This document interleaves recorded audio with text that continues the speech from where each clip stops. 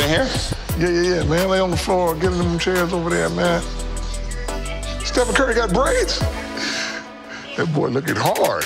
This is the NBA Draft Lottery. LaMelo basketball. Melo. This man is doing it in one of the best leagues in the One. the We already know that. We just gotta see what team. Okay.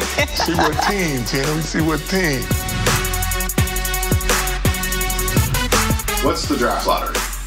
The lottery is very important and fun to watch. You can't control anything. It's just watching it, seeing what teams are going to get what places, and go from there. LaMelo, you went straight from high school to playing pro ball. How did it shape the player you are today? Uh, I think it made a uh, made me a better basketball player than I am today. You know, really started taking stuff serious and just saw the world different. And then with basketball, put it all together, and then that's how that came. Now let's take a look at which teams have the best shot. This is, of course, a weighted lottery based on how teams finish the regular season. They all have a 14% chance at the top pick. And then We got a here's chance. everyone else. And remember, last got a year, chance, they came baby. into the night with a Get into the top three. Dang. There's a lot of energy in the city around what the Knicks will do with this pick. A lot of New York Knicks fans are dying to get LaMelo Ball. Ooh, let's see that. Seems like there are a lot of people, your dad included, who want Melo in New York. What do you think of Melo on the Knicks? The Knicks is a good fit. He's a good leader, so I feel like whatever team he goes to, he'll be able to run the team good. Pick number 14 will be made by the Boston Celtics. What kind of impact will the lottery have on Melo's career? I mean, the lottery is Melo's career. I firmly believe he's going to go top three. It's just to see who gets lucky enough to get him. Maybe the ball bounce our way. The 13th pick goes to Yeah, I forgot to go this fast. The New Orleans Pelicans. Oh, we got 13. Good lord. We gave ourselves a chance. That's all I can say. Picking eighth is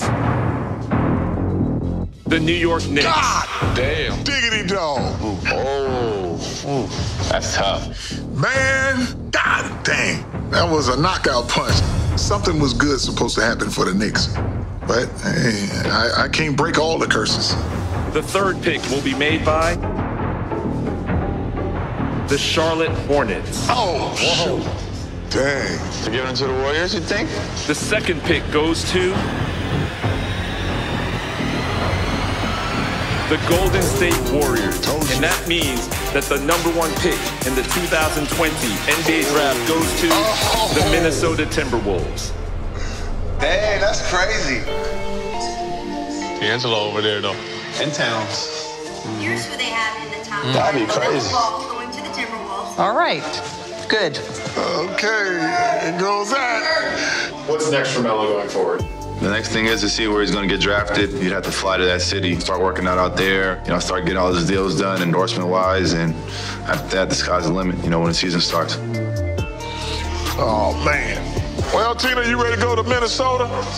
That's cold. Cold, but okay. Minnesota wasn't on my radar, but when they let Melo do what he does, then that's a great fit. But it still would be good, though. yeah.